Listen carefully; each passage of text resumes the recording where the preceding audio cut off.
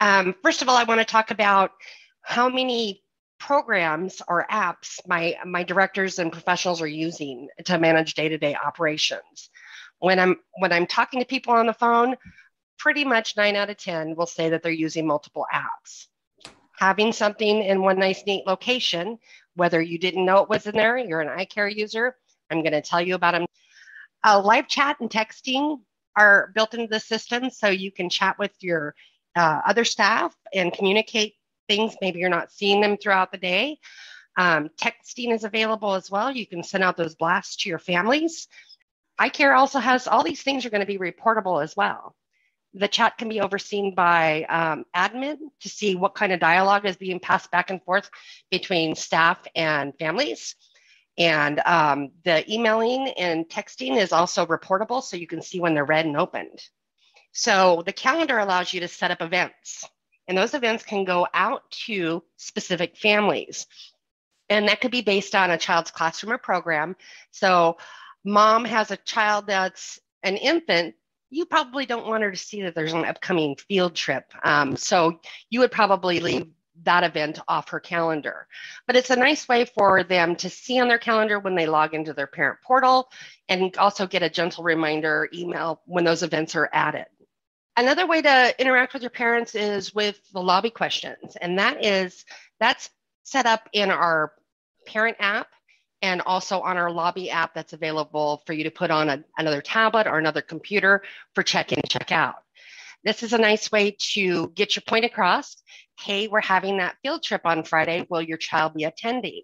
So, based on your answers, maybe if mom says yes, you can also associate a fee to that question and it'll hit their ledger and you're done.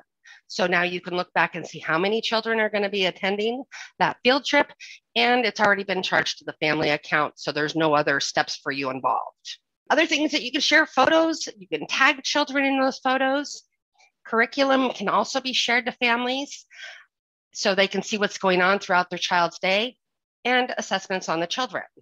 Those are just some of the things that we, we offer when it comes to communication with parents. Um, we do also offer initial registration for families, whether you want to send out an invite to have a parent enroll their child with the necessary paperwork. The paperwork can be anything you want it to be, and you can make those forms required. We can also help you with putting a button on your website so the parents can start that process of enrollment. And you can also collect registration fees so they can secure those spots. On the, on the forms, you can set values. Are they required? So the parent can't go any further and, and enroll their child until they've filled out the necessary paperwork.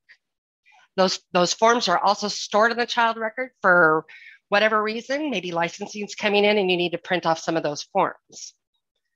Billing payment, you can do your billing based on daily, weekly, biweekly, monthly, but best yet, drop in billing, which nobody really does like we do.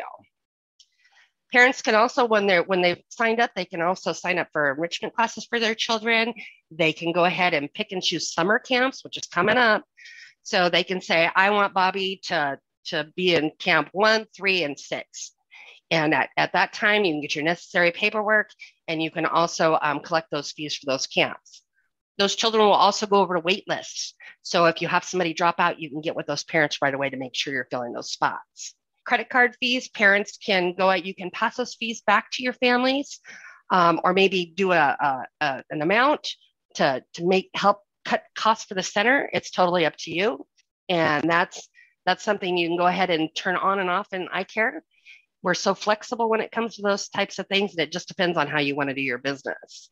If you'd like to learn more, if, if you're currently a user, give us a call. If you're not sure about the features, we're happy to guide you through them or if you're somebody looking for a system to kind of cut down all that technology and put things into one place, give us a call or go to our website and sign up with a, for a demo and we'd be happy to happy to speak with you.